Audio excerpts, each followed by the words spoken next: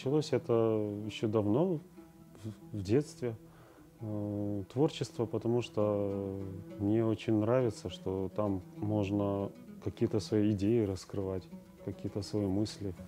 Э, и еще это мне нравится тем, что все время что-то новое придумываешь. Нету однообразия, никогда не устаешь. Какие-то впечатления, какие-то переживания.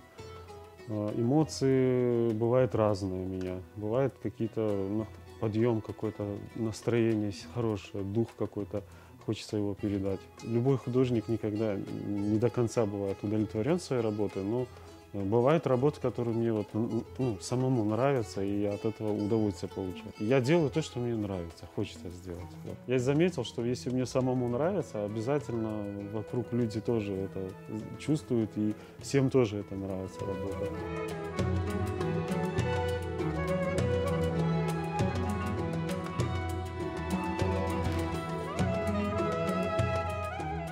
я всегда пишу на тему Крыма. Крым как э, изначально меня... В Крыму я и сформировался как художник. И э, основная тема – это Крым. Крым и его природа, его история, ощущение Крыма во Вселенной. Сама крымская тема, она подразумевает и религиозную тоже тему, потому что Крым когда-то это был, мы знаем, что и духовным центром, и религиозным центром, Старый Крым, Бахчисарай. Вот, поэтому у меня оно э, естественным образом произошло. Вот, я э, это воспринимаю как должное, как, само собой разумеющееся.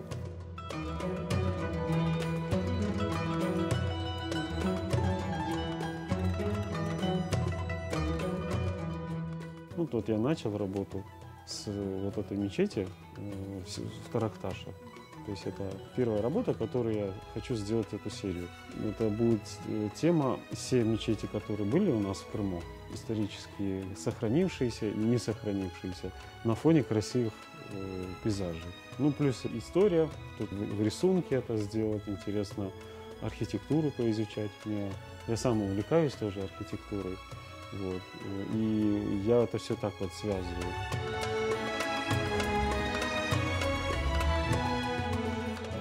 Ценности это в первую очередь э, здесь такая, знаете, и э, в духовном плане, естественно, и в нашем мире. В духовном это понятно, то есть следовать э, пути от нашего пророка, саллиллаху алейким вассалям, и то, что в материальном плане, оно, естественно, семья, дети, воспитание детей, дом, собственный дом – Э, чтобы оно не просто как бы хватало, да, как у нас говорят, чтобы это было в изобилии, чтобы иметь возможность не просто жить, а еще э, какие-то свои проекты создавать, например, э, не зависеть от меценатов, например, не быть там, а быть самим меценатом.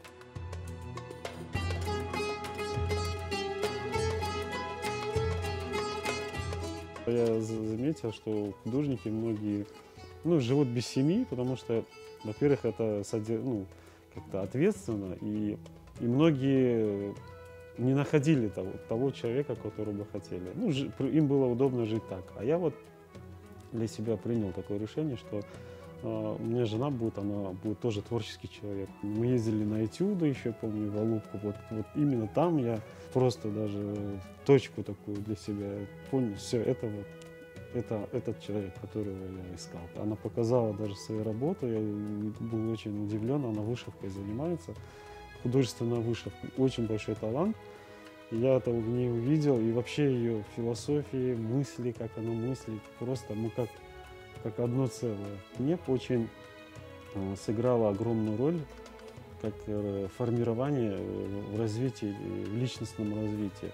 Потому что она сама развивается, постоянно читает, какие-то посещает семинары, тренинги. Меня тоже она подтянула в этом вопросе. Ну, то есть у нас какие-то внутренние глубинные проблемы, как вот это с этим разбираться. Очень мне она в этом плане повлияла на меня.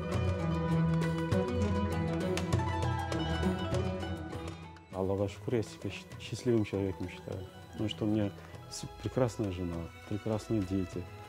шкура Аллаха, они не болеют у меня. Вокруг, когда видишь, э, сравниваешь, э, сколько детей болеют, и семьи какие бывают несчастные, но посмотрев это, такой вообще счастливый человек.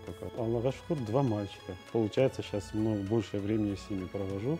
Бывают э, какие-то моменты, что ты хочешь как-то уединиться там, чтобы никто тебе не мешал. Но в то же время сейчас такой момент ответственный. Это два мальчика, в основном влияние от отца все-таки больше. И больше, конечно, пример отцовское. И я вот сейчас с ними стараюсь э, что-то им рассказывать, какие-то вещи. Просто вот быть естественным. И с ними разговаривать как со взрослыми людьми наравне. Они все время ко мне тянутся, и им интересно. Вот, и мне это тоже нравится.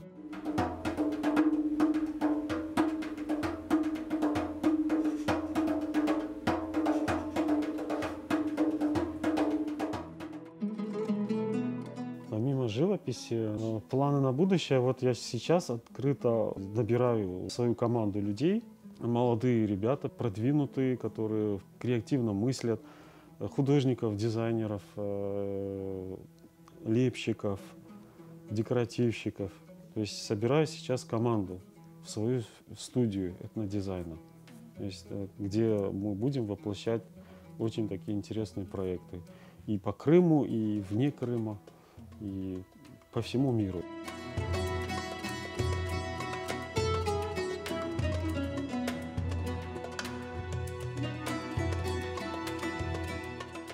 Я впечатлительный очень, увлекающийся, впечатлительный, э, целеустремленный.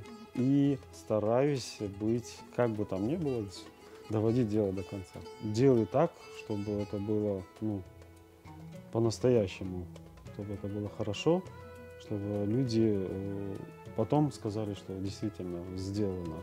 Ну, есть максимально на 100% выкладываться. Если даже брать с э, священных хадисов, там есть такой смысл, что живите в этом мире так, как будто бы вы вечно будете здесь жить. И молитесь так, как будто бы она у вас последняя.